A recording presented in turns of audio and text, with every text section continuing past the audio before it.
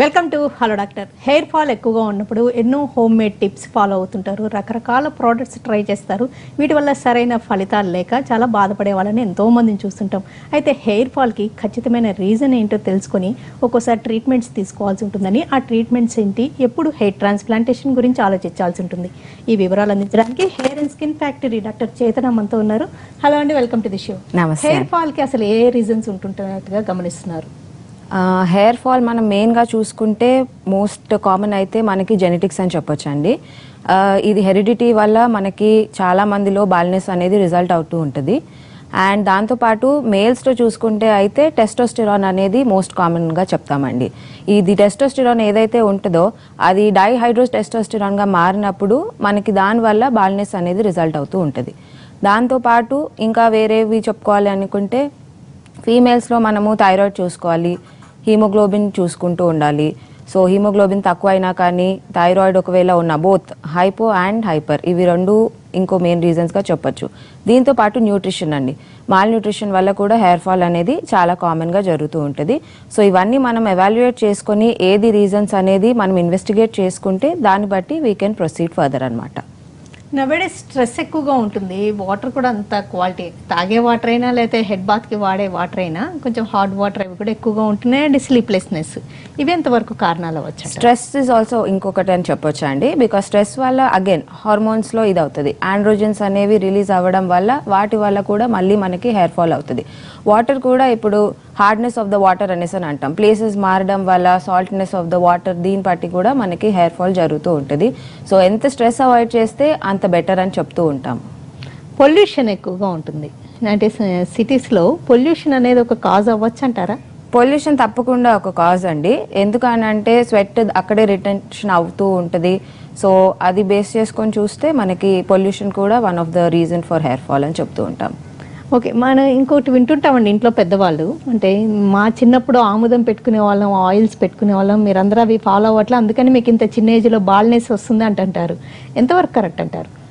Oils కొంచెం health maintain చేస్తాయండి హెయిర్ని అది కూడా ఒకటి ఉంటుంది. కాకపోతే ఇప్పుడు డాండ్రఫ్ ఉన్న వాళ్ళకి ఆయిల్ పెడితే అది ఒక మీడియం లాగా యాక్ట్ అవుతుంది అనమాట ఫంగస్ గ్రో అవ్వడానికి ఆయిల్స్ హెల్ప్ చేస్తూ ఉంటాయి. సో ఏం చెప్తాము అని అంటే యూజువల్గా మనం హెడ్ బాత్కి వెళ్ళి వన్ అవర్ ముందు అట్లా మంచి గోరువెచ్చటి ఆయిల్ అప్లై చేసుకున్న తర్వాత హెయిర్ వాష్ చేసుకుంటే better as it help as well as మనకి రాలిపోవడానికి కూడా ఒక కారణం అవుతుంది. డాండ్రఫ్ ఉండడం వల్ల మళ్ళీ మనకి ఎక్కువ హెయిర్ ఫాల్ అవుతూ ఉంటుంది. క్యాస్టర్ ఆయిల్ గురించి ఏమంటారు? ఆమ్దం is one of the very good thing just like ఇప్పుడు హెయిర్కి మనకి వైటమిన్ ఈ అవసరము బయోటిన్ అవసరము అని చెప్తూ ఉంటాం కదా అది కూడా ఇట్ విల్ హెల్ప్ అదే చెప్తున్నాను కదా ఎవ్రీథింగ్ ప్రోస్ అండ్ కాన్స్ ఉన్నట్టు దానికి వీ హ్యావ్ టు ఎవరికి ఏది పడుతుంది అనేది మనం చెప్పలేము అనమాట ఒకరికి ఒకటి పడింది అనేసానని ఇంకొకరికి పడకపోవచ్చు. సో దానివల్ల మిస్లీడింగ్ అనేది చాలా జరుగుతూ ఉంటుంది. మార్కెట్లో ఎన్నో రకాల ఆయిల్స్ కనిపిస్తుంటే ఎన్నో యాడ్స్ చూస్తుంటారు. చాలా టెంప్టింగ్గా ఉంటాయండి. అంటే అసలు ఆ రిజల్ట్స్ కొంతవరకు అన్నా ఉండే అవకాశం ఉంటుందా వాటితోటి? హెయిర్ సీరమ్స్ ఆయిల్స్ రిజల్ట్స్ ఇస్తాయండి. నో డౌట్ ఇన్ దట్ చాలా ప్రోడక్ట్స్ కూడా అవైలబుల్ ఉన్నాయి. అదే మళ్ళీ ఏది ఎవరికి యూజ్ అవుతుంది అనేది ఓన్లీ కన్సల్ట్ తీసుకున్న తర్వాత we can proceed on that okay ఎవరికైనా all of a sudden hair fall ఎక్కువగా ఉందంటే ఎలాంటి హెల్త్ చెకప్స్ చేయించుకోవడం బెటర్ అంటారు? హెయిర్ ఫాల్ సడన్గా స్టార్ట్ అయింది అనేసి అని అంటే ఫస్ట్ వాళ్ళ హెల్త్ దీని పరంగా చూసుకుంటే రీసెంట్ ఏమైనా ఇల్నెస్ ఉందా లేదా చూసుకోవాలండి. ప్రొలాంగ్ ఫీవర్ వచ్చింది ఇప్పుడు టైఫాయిడ్ జాండిస్ లాంటివి వచ్చిన తర్వాత టాక్సిన్స్ బాడీలో ఉండడం వల్ల సడన్గా హెయిర్ ఫాల్ స్టార్ట్ అయిపోతుంది. ప్రెగ్నెన్సీ అయిపోయింది. ప్రెగ్నెన్సీ అప్పుడు హార్మోన్స్ హై లెవెల్లో ఉండడం వల్ల మెయింటైన్ అవుతుంది. అవంగానే ఒక్కసారి ఇప్పుడు మనకి ఈస్ట్రోజన్ తగ్గిపోవడం వల్ల కంటిన్యూస్గా హెయిర్ ఫాల్ అనేది స్టార్ట్ అవుతూ ఉంటుంది. అట్లా సడన్ షెడ్డింగ్ ఉన్నప్పుడు మనము ఇన్వెస్టిగేషన్స్ ప్రకారంగా చూసుకుంటాం అనమాట ఇప్పుడు హీమోగ్లోబిన్ ఏమైనా తక్కువగా ఉందా? ఫీమేల్స్లో మోస్ట్ కామన్ ఇప్పుడు ఐరన్ డెఫిషియన్సీ వస్తూ ఉంటుంది. న్యూట్రిషన్ వల్ల ఏమైనా ప్రాబ్లం ఉందా? రీసెంట్గా ఏమైనా ఫీవర్ ఎపిసోడ్స్ వచ్చాయా? థైరాయిడ్ ఏమైనా రీసెంట్గా వచ్చిందా? సో అట్లా మనము ఎవాల్యుయేట్ చేసుకుంటూ zinc is also needed for hair growth అనమాట ఒకవేళ జింక్ లెవెల్స్ ఏమైనా తగ్గాయా? అట్లా చూసుకుంటూ ఎవాల్యుయేట్ చేసుకుంటే then we have to proceed further హైపోనా hyper థైరాయిడిజమా ఈ రెండిట్లో ఏది ఎక్కువగా హెయిర్ ఫాల్కి కారణం అవ్వచ్చు రెండు కారణాలు అవుతాయండి. హైపోథైరాయిడిజం చాలా ఎక్కువగా హెయిర్ ఫాల్ లీడ్ చేస్తుంది. కాకపోతే హైపర్ థైరాయిడిజం ఇస్ ఆల్సో మనకి హెయిర్ ఫాల్కి కారణం అని చెప్పుకోవచ్చు. ఎక్కువగా మేల్లో చూస్తుంటామండి బాల్నెస్ నవడేస్ అక్కడక్కడ మనకి ఫీమేల్స్ కూడా కనిపిస్తున్నారు. అంటే ఏ రీజన్స్ ఉంటూ ఉన్నట్టుగా గమనిస్తున్నారు? మేల్స్లో బాల్నెస్ ప్యాటర్న్ అనేది డిఫరెంట్గా ఉంటుందండి. వాళ్ళకి మనం చూసుకుంటే హెయిర్ లైన్ ఇప్పుడు ముందరి భాగం ఏదైతే ఉందో అది వెనకాలకు వెళ్తూ ఉంటుంది అనమాట టెంపోరల్స్ నుంచి పోతూ ఉంటుంది. అండ్ హెయిర్ కొంచెం షార్ట్ అవ్వడం వల్ల మనకి ఈజీగా కనబడుతూ ఉంటుంది. అట్లా అని ఫీమేల్స్లో లేదు అని ఏం చెప్పలేము. ఫీమేల్స్లో మనం చూసుకున్నట్టయితే ఇప్పుడు మధ్యలో పాపడు ఎక్కడైతే ఉంటుందో అది మనకి వైడ్ అవుతూ వస్తుంది అనమాట దాంట్లో కూడా త్రీ స్టేజెస్ ఉంటాయి. ఫీమేల్స్లో బాల్నెస్ ప్రోగ్రెస్ అవ్వడానికి. సో ఫీమేల్స్లో మనకి సెంటర్ పార్టిషన్లో తెలుస్తుంది. అది థర్డ్ స్టేజ్కి వెళ్ళింది అని అంటే మనకి ఓవెల్ షేప్లో ఫామ్ అయిపోతుంది అనమాట ఎవరైనా హెయిర్ ఫాల్ కానీ హెయిర్ థిన్నింగ్తో మీ దగ్గరకు వచ్చారనుకోండి మీ అప్రోచ్ ఎలా ఉంటుంది? ఆ పేషెంట్తో మీరు ఏ ఏ విషయాలు డిస్కస్ చేస్తుంటారు? ఫస్ట్ ఇప్పుడు మన దగ్గరికి క్లయింట్ వచ్చిన తర్వాత రీజన్ ఏంటి అనేది ప్రాపర్ హిస్టరీ టేకింగ్ వల్ల వీల్ ట్రై టు ఎవాల్యుయేట్ అండి. ఇప్పుడు వాళ్ళకి ఏం కారణం అయి ఉండొచ్చు? అవన్నీ ఫస్ట్ ఎవాల్యుయేట్ చేసుకున్న తర్వాత ఇన్వెస్టిగేషన్స్ చేసుకుంటాం అనమాట బ్లడ్ ఇన్వెస్టిగేషన్స్లో ఏమైనా డిఫెక్ట్స్ ఉన్నాయా? ఐరన్ లెవెల్స్ ఏమన్నా మనకి సీరం ఫెరిటిన్ ఏమన్నా తక్కువ ఉందా? థైరాయిడ్ ఏమన్నా ప్రాబ్లం ఉందా? జింక్ లెవెల్స్ ఏమన్నా తక్కువ ఉన్నాయా? అలా మనం ఒకసారి చూసుకున్న తర్వాత కారణం ఏమై ఉంటుంది? ప్లస్ వాళ్ళు మన దగ్గరికి ఏ స్టేజ్లో వస్తున్నారు అనేది ఇంపార్టెంట్ ఎర్లీ స్టేజ్లో థిన్నింగ్ అవుతూ ఉన్నప్పుడే మన దగ్గరికి వచ్చారు అనేసి అని అంటే మనకి ఆప్షన్స్ వైడ్ ఓపెన్ ఉంటాయి. హెయిర్ ఫాల్ తోటి ఒక మేల్ ఆర్ ఫీమేల్ మిమ్మల్ని అప్రోచ్ అవుతే అంటే ఎవరైనా హెయిర్ ఫాల్ని ఒక సీరియస్ హెల్త్ కండిషన్ అనుకోరు ప్రాబ్లం అనుకోరు అది. అందుకని వాళ్ళు అసలు హెయిర్ ఫాల్ ఎక్కువగా ఉంది. ఒక మేల్ అయితే ఏ ఏ రీజన్స్ ఉండొచ్చు అని హెల్త్ చెకప్స్ చేయించుకోవాలి. ఒక ఫీమేల్ అయితే ఏ చెకప్స్ చేయించుకోవాల్సి ఉంటుంది. మేల్స్లో మనకి మోస్ట్లీ హెరిడిటీ రీజన్ ఉంటుందండి. బికాస్ న్యూట్రిషన్ వైజ్ అదంతా మేల్స్ కొంచెం బాగానే తీసుకుంటారు అన్న దీంతో చూసుకుంటే వాళ్ళకి జెనెటిక్స్ మోస్ట్ కామన్ ఇవి ఉంటాయి. సో వాళ్ళు ఇప్పుడు ఫీమేల్స్లో చూసుకుంటే న్యూట్రిషన్ వైజ్ థైరాయిడ్ వైజ్ అట్లా మనకు ప్రాబ్లమ్స్ ఉండొచ్చు. ఇప్పుడు మన దగ్గరికి అప్రోచ్ అవ్వాలి అనేసి అని అంటే వాళ్ళు డైలీ ఒక more than fifty to hundred hair fall ఉంటుంది. ప్లస్ కంటిన్యూస్గా త్రీ మంత్స్ నుంచి హెయిర్ ఫాల్ అవుతూనే ఉంది. కొత్త హెయిర్ గ్రోత్ ఏం కనిపించట్లేదు. అట్లా చూసుకుంటే ఇమీడియట్గా డాక్టర్ దగ్గర కన్సల్ట్ అవ్వడం బెటర్ ఉంటుందండి. అంటే అలాంగ్ విత్ హెయిర్ ఫాల్ అసోసియేటెడ్గా ఎలాంటి సిమ్టమ్స్ ఉన్నప్పుడు ఇంకా అసలు నెగ్లెక్ట్ చేయకుండా వన్ షుడ్ విజిట్ డాక్టర్ అంటారు. హెయిర్ ఫాల్తో పాటు ఇప్పుడు వేరే ఇచ్చింగ్ ఉంది. స్కాల్ప్ పైన ఏమైనా ఇంకా ఏమైనా లీజన్స్ వస్తున్నాయి. ఎందుకంటే హెయిర్ ఫాల్ ఆటో ఇమ్యూన్ కండిషన్స్లో కూడా ఉంటది. మనకు వేరే ఎస్ఎల్ఈ కానీ ఇంకో స్క్లీరోడర్మా అట్లా స్కిన్ కండిషన్స్ ఉంటాయి. వాటితో కూడా హెయిర్ ఫాల్ అసోసియేట్ అవుతూ ఉంటుంది. సో ఎండలోకి వెళ్తే ఏమన్నా ఫేస్లో మంట రావడం కానీ స్కిన్ పైన ఏమైనా లీజన్స్ వచ్చినప్పుడు దెన్ అసలు అప్పుడు ఎప్పుడు నెగ్లెక్ట్ చేయొద్దని చెప్తా. ఓకే హెయిర్ ఫాల్తో మా ఫీమేల్లో అయితే దాంతో పాటు పీరియడ్స్ ఇర్రెగ్యులర్గా ఉన్నప్పుడు మాత్రం హార్మోనల్ ఇంబ్యాలెన్స్ అని అనుకోవాల్సి ఉంటుందా? యా పీరియడ్స్ ఇర్రెగ్యులర్గా ఉండడం కానీ ఇప్పుడు మెనోపాజ్ స్టేజ్లో కానీ కాంట్రసెప్టివ్ యూజేజ్ చేస్తున్నప్పుడు కానీ హెయిర్ ఫాల్ అనేది జరగడం సహజం అండి ఓకే మీ దగ్గరకు వచ్చినప్పుడు ఇలాగే ఇన్వెస్టిగేషన్స్ చేయిస్తారు అవసరమైన ట్రీట్మెంట్కి పంపిస్తుంటారు కదండి. వాటితో పాటు ట్రీట్మెంట్స్ అంటే ఓన్లీ లోకల్ ట్రీట్మెంట్స్ ఏవే ఉంటూ ఉంటాయి? లోకల్ ట్రీట్మెంట్స్ అంటే ఇప్పుడు మన దగ్గరికి ఎర్లీగా వచ్చారు. హెయిర్ లైన్ ఇంకా రిసీడ్ అవ్వలేదు. హెయిర్ గ్రోత్ ఇంకా బాగానే ఉంది. ఎర్లీ స్టేజెస్లో మన దగ్గరికి క్లయింట్స్ వస్తే మనము పిఆర్పి ట్రీట్మెంట్స్ ఉంటాయి. We can do mesotherapy చేయొచ్చు. స్టెమ్ సెల్ షార్ట్స్ తీసుకోవచ్చు. సో ఇలాంటి ట్రీట్మెంట్ ఆప్షన్స్ కూడా అవైలబుల్ ఉంటాయండి. ఓకే. వీటితో రిజల్ట్స్ ఎలా ఉంటాయి? ఎన్ని మంత్స్ ట్రీట్మెంట్ తీసుకోవాల్సి ఉంటుంది? అందరికీ సూట్ అవుతాయా ఈ ట్రీట్మెంట్స్? ఎర్లీ స్టేజెస్లో వస్తే కనుక మనం చూసుకున్నట్టయితే ఇవి పిఆర్పి అనేది దెర్ ఇస్ లైక్ మన న్యాచురల్ ఇదే ఇస్తున్నాం కాబట్టి భయపడాల్సిన అవసరం ఏమీ ఉండదండి. ఇవి పేషెంట్ ఒక రెస్పాన్స్ని బట్టి మనం సెషన్స్ లాగా ప్లాన్ చేసుకుంటాము. సింగిల్ సిట్టింగ్స్ కావు ఇవి. ఎన్ని సెషన్స్ అవసరం పడతాయి అనేసి చూస్తాము. యూజువలీ ఒక ఫోర్ టు సిక్స్ సిట్టింగ్స్లో మనకి గ్రోత్ అనేది కనపడుతుంది. సో అలా ఏ పేషెంట్ ఏ స్టేజ్లో ఉన్నారో చూసుకొని దాన్ని బట్టి we can plan the treatment అంటే ఎలాంటి ఫుడ్ ఐటమ్స్ ఎక్కువగా ఇంక్లూడ్ చేస్తే మంచిదంటారు డైట్లో ఇప్పుడు హెయిర్ కోసం చూస్తే బయోటిన్ మనకి చాలా అవసరం అని చెప్తాము. బయోటిన్ అనేది మనకి eggs లో ఉంటుంది. అండ్ ఇంకా ప్రోటీన్ రిచ్ డైట్ మేము సజెస్ట్ చేస్తామండి. ఆల్మండ్స్ తీసుకోమని చెప్తాము వాల్నట్స్ అలాగే ఆమ్లా తీసుకోవాలి. నాన్ వెజ్ తీసుకునే వాళ్ళైతే ఫిష్ తీసుకోవచ్చు. అండ్ మెయిన్ మనకి హెయిర్ గ్రోత్ దీనికి వీల్ సజెస్ట్ గ్రీన్ పీస్ అన్ని చిక్కుళ్ళు చాలా ఇంపార్టెంట్ అని చెప్తాము. అండ్ సోయా చంక్స్ ఉంటాయి కదా మీల్ మేకర్ అవి కూడా they are very good source for protein అనమాట లేజర్ ట్రీట్మెంట్స్ అని అండ్ ఇంటి దగ్గర చాలా పార్లర్స్లో కూడా ఎన్నో ట్రీట్మెంట్స్ కోమ్స్ అని అలాంటివి చెప్తుంటారు కదండి. వాటి వల్ల ఏమన్నా ఇల్ ఎఫెక్ట్స్ కూడా ఉండే రిస్క్ ఉంటుందంటారా? ఇల్ ఎఫెక్ట్స్ అంటే లేజర్ ట్రీట్మెంట్స్ అనేవి ఇప్పుడు కోమ్స్ ఏవైతే దొరుకుతున్నాయో ఫాలికల్ని స్టిమ్యులేట్ చేయడం కోసం వాడుతున్నామండి అవి. సో డెఫినెట్గా ఫాలికల్స్ అనేవి స్టిమ్యులేట్ అయితే అక్కడ కనుక మనకి రూట్లో నుంచి హెయిర్ ఉంది అని అనుకుంటే డెఫినెట్గా హెయిర్ గ్రోత్ ఉంటుంది. కాకపోతే సెల్ఫ్ ట్రీట్మెంట్స్ చేసుకోవడం వల్ల వాళ్ళకి ఎంత హీట్ అప్లై చేయాలి ఏంటి అనేది ఒకవేళ తెలియకపోతే ఎక్సెసివ్ హెయిర్ ఫాల్ జరగవచ్చు ఓకే. పిల్లల్లో కూడా ఈ మధ్య హెయిర్ ఫాల్ అంటున్నారండి టీనేజర్స్ అంటే ఆల్ ఆఫ్ ఏ సడన్ బాగా హెయిర్ ఫాల్ ఎక్కువ అవుతుందని చాలా మందిని చూస్తుంటాం. అంటే వాళ్ళకు కూడా హార్మోనల్ ఇంబ్యాలెన్స్ వల్ల ఇలాంటి సమస్య తలెత్తుతుందా? అవునండి. టీనేజర్స్లో చూసుకుంటే ఎందుకంటే ఆ ప్యూబర్టీ ఏజ్లో మనకి హార్మోన్ చేంజెస్ అవుతూ ఉంటాయి కాబట్టి ఇప్పుడు మేల్స్కి మనకి ప్యూబర్టీ జరగాలి అనేసి అంటే టెస్టోస్టిరాన్ అవసరం. కానీ అదే టెస్టోస్టిరాన్ ఎక్సెసివ్ కన్వర్షన్ జరిగినప్పుడే మనకి ఇది బాల్నెస్లోకి వెళ్తుంది.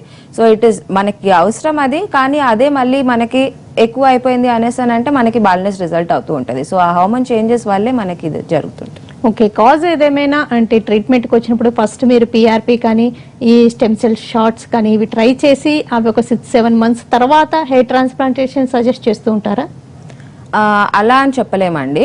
ప్రతి ఒక్కరు ఇప్పుడు అదే పేషెంట్ మన దగ్గరికి ఏ స్టేజ్లో వస్తున్నారు అనేది ఇప్పుడు మనం హెయిర్ చూసుకుంటే సెవెన్ స్టేజెస్ అంటామండి. నార్విత్ క్లాసిఫికేషన్ ఉంటుంది మనకి. హెయిర్ ఫాల్ జరిగే దీంట్లో. సో పేషెంట్ మన దగ్గరికి ఇప్పుడు స్టేజ్ టూ ఆర్ స్టేజ్ త్రీలో వచ్చారు అనేసి అని అంటే వాళ్ళకి మనము పిఆర్పి తీసుకుంటే ఇంకా హెయిర్ ఫాల్ జరగకుండా ప్రివెంట్ చేయొచ్చు. ఇప్పుడు మన దగ్గరికి ఫిఫ్త్ స్టేజ్ అట్లా వచ్చారు అనేసి అని అంటే వాళ్ళకి ఆబ్వియస్లీ హెయిర్ ట్రాన్స్ప్లాంటే మనకు ఆప్షన్ అవుతుంది. ఓకే హెయిర్ ట్రాన్స్ప్లాంటేషన్కి అంటే ప్రీ రిక్విజిట్స్ ఏమన్నా ఉంటాయా? అందరూ సూట్ అవుతారా? మేల్ ఆర్ ఫీమేల్ ఎవరైనా చేయించుకోవచ్చా? హెయిర్ ట్రాన్స్ప్లాంట్కి ప్రీ రిక్విజిట్ అంటే ఫస్ట్ మనం ఏజ్ చూసుకోవాలండి. అబౌట్ ట్వంటీ వన్ ఇయర్స్కి మేము యూజువల్లీ సజెస్ట్ చేస్తాము. అండ్ uh, ఒకవేళ స్మోకింగ్ డ్రింకింగ్ అట్లా ఏమన్నా ఉంటే we last them to avoid it ఒక వన్ మంత్ బిఫోర్ స్టాప్ చేస్తే మంచిది. ఎందుకంటే కొంచెం బ్లీడింగ్ జరగడానికి ఛాన్సెస్ ఉంటాయి అనేసానని అండ్ అట్లాగే డయాబెటిక్ స్టేట్ ఎలా ఉంది బ్లడ్ ప్రెషర్ ఉన్న వాళ్ళకి control within limits no problem అండి we can take them up and males females ఇద్దరికి we can go ahead surgical profile ఏమన్నా అవసరమా? లేకపోతే హైపర్ టెన్షన్ కానీ షుగర్ కానీ థైరాయిడ్ ప్రాబ్లమ్స్ ఉన్నప్పుడు అవి కంట్రోల్లో పెట్టుకొని రావాల్సి ఉంటుందంటారా? యా డెఫినెట్లీ అండి కంట్రోల్లో ఉండాలి. విత్ ఇన్ నార్మల్ లిమిట్స్ ఉంటే we can take them for surgery and just like మనం ఏ సర్జరీకి వెళ్ళినప్పుడల్లా మనం సర్జికల్ ప్రొఫైల్ ఇప్పుడు క్లాటింగ్ టైం బ్లీడింగ్ టైం ఎలా చూసుకుంటామో బేసిక్ ఇన్వెస్టిగేషన్స్ చేసి మాత్రం we can proceed for the surgery అండి మేల్ కంటే ఫీమేల్కి హెయిర్ ట్రాన్స్ప్లాంటేషన్ ఎక్కువ టైం పట్టడం కొంచెం కష్టతరం అవ్వచ్చు అంటారా హెయిర్ లాంగ్గా ఉంటది కాబట్టి అండ్ ఫీమేల్స్ మొత్తం ట్రిమ్మింగ్ బాల్నెస్కి ఒప్పుకోరు కాబట్టి వాళ్ళకి విత్ ద హెయిర్ చేయాలి కాబట్టి టైం టేకింగ్ ఉంటదండి కొంచెం. ఓకే. అంటే కొంతమందికి ఫ్రంట్ ఫోర్ హెడ్ బాగా పెరిగిపోతూ ఉంటుంది ఏజ్ వచ్చే కొద్దీ. అది బాగా కవర్ చేయొచ్చు అంటారా నంబర్ వాళ్ళకి డోనర్ ఏరియా మంచిగా ఉంది అనేసి అని అంటే వీ కెన్ కవర్ అండి. దాంట్లో ప్రాబ్లం ఏమి ఉండదు. మనకి మెయిన్ డిపెండెన్స్ అంటే ఇప్పుడు వాళ్ళ డోనర్ ఏరియా ఎలా ఉందో మనం చూసుకోవాల్సి వస్తుంది. ఇప్పుడు లేటెస్ట్గా ఏ టెక్నిక్ ఫాలో అవుతున్నారు హెయిర్ ట్రాన్స్ప్లాంటేషన్లో ఇప్పుడు మన దగ్గర మనం చేసేది ఎఫ్యూఈ అంటామండి ఫాలిక్యులర్ యూనిట్ ఎక్స్ట్రాక్షన్ దాంతో పాటు మేము ఇక్కడ హెయిర్ అండ్ స్కిన్ ఫ్యాక్టరీలో బయో ఎఫ్యూఈ కూడా చేస్తున్నామండి. సో బయో ఎఫ్యూఈ మన ఎఫ్యూఈ కంటే ఇంకా బెటర్ రిజల్ట్స్ ఇస్తుంది. అంటే ఏంటి? బయో ఎఫ్యూఈ అంటే ఏంటి? బయో ఎఫ్యూఈలో మనం ఏం చేస్తామంటే మనం ఒకసారి గ్రాఫ్స్ కలెక్ట్ చేసిన తర్వాత అది పేషెంట్ పిఆర్పి చేస్తామన్నమాట. వాళ్ళ ప్లాస్మాలో మనము ఫాలికల్స్ని పెడతామన్నమాట. ఇన్స్టెడ్ ఆఫ్ నార్మల్గా అయితే మనం నార్మల్ సలైన్లో ప్లేస్ చేస్తాము. బయో ఎఫ్యూఈలో పిఆర్పిలో పెట్టి చేయడం వల్ల ఇంకా కొంచెం బెటర్ రిజల్ట్స్ ఉంటాయి. అంటే తీసిన ఫాలికల్స్ ఫాలికల్స్ అన్ని మనము ఇంప్లాంట్ బాగా అయ్యి ఇంప్లాంట్ హెయిర్ మొలిచే అవకాశం హెయిర్ మొలిచే అవకాశం బాగా ఉంటుంది. ఎన్ని మంత్స్లో కరెక్ట్ ఇది ఎగ్జాక్ట్ రిజల్ట్ అన్నట్టుగా కనిపిస్తుంది అంటారు? మనకి త్రీ ఫోర్ మంత్స్లో హెయిర్ గ్రోత్ రావడం స్టార్ట్ అయిపోతుందండి. కాకపోతే వచ్చిన హెయిర్ మళ్ళీ షెడ్ అయిపోతుంది. సిక్స్ మంత్స్లో అయితే మనకి రెగ్యులర్ రొటీన్ లుక్ వచ్చేస్తుంది. కాకపోతే eight months to one year time is like మంచి లుక్ రావడం కోసం. We usually say eight to eighteen months is the time మన minimum is eight months maximum is like eighteen months అని చెప్పొచ్చు. Okay. అంటే ఎవరైనా ఏదైనా అకేషన్ పెట్టుకొని విత్ ఇన్ టూ త్రీ మంత్స్లో మ్యారేజ్ ఏదైనా పార్టీనో పెట్టుకొని వస్తే మాత్రం హెయిర్ ట్రాన్స్ప్లాంటేషన్తో సరైన రిజల్ట్స్ పొందలేరంటారా? వాళ్ళకి ఎలాంటి అదర్ సొల్యూషన్స్ చూపిస్తుంటారు? ఇమీడియట్గా కావాలి అనేసి అని అంటే we don't suggest that and ఎందుకంటే ఇది వన్ టూ మంత్స్లో రిజల్ట్స్ మీకు అంత మంచి లుక్ ఇవ్వవు. సో దానికోసం మేము ఏం చెప్తాము అని అంటే వన్ ఇయర్ ముందర నుంచి ప్లాన్ చేసుకుంటే మీకు ఏదైతే మీరు రిజల్ట్ కోరుకుంటున్నారో అది ఖచ్చితంగా ఇవ్వగలుగుతామండి. ఇమీడియట్గా చేసుకుంటే ఎందుకంటే పెట్టిన ఫాలికల్స్ మళ్ళీ ఒకసారి రాలిపోయి మళ్ళీ ఫ్రెష్ హెయిర్ లాగా అవి వస్తాయి అనమాట సో అది టైం తీసుకుంటది కాబట్టి it is better they plan it at least year before hair transplantation కుదరని పర్సన్స్ అంటూ ఎవరైనా ఉంటారు? హెయిర్ ట్రాన్స్ప్లాంట్ కుదరిన పర్సన్స్ అంటే ఇప్పుడు మనకి స్టేజ్ సిక్స్ ఆర్ సెవెన్లో వచ్చారనుకోండి వాళ్ళకి డోనర్ ఏరియా సరిగా లేదు. మనం తీసుకోలేము అనేసి అని అనుకుంటే ఇంకో ఆప్షన్ ఏముంటుంది అంటే బాడీ హెయిర్ తీసుకొని కూడా ఇప్పుడు మేము చేస్తున్నాము. బాడీ హెయిర్లో బియర్డ్లో కానీ ఇప్పుడు మేల్స్కి మంచిగా హెయిర్ ఉంది అని అంటే తీసుకోగలుగుతాము. అది కూడా తక్కువగా ఉన్న వాళ్ళు ఇప్పుడు elderly patient sixty seventy years వాళ్ళు కూడా వస్తారు. సో వాళ్ళకి అక్కడ హెయిర్ కూడా తక్కువ ఉంది అనేసి అని అంటే హెయిర్ రీప్లేస్మెంట్ అని చేస్తామండి. ఆ హెయిర్ రీప్లేస్మెంట్లో మనకు అవైలబుల్ ఉండేవి సిలికాన్ ప్యాచెస్ అనేవి ఉంటాయి అనమాట so we can plan for silicone patches అది న్యాచురల్ లుక్కే ఇస్తుంది కాకపోతే వాళ్ళకి కొంచెం టైం టేకింగ్ అన్నమాట. ఎక్కువ టైం కేటాయించాల్సి వస్తుంది.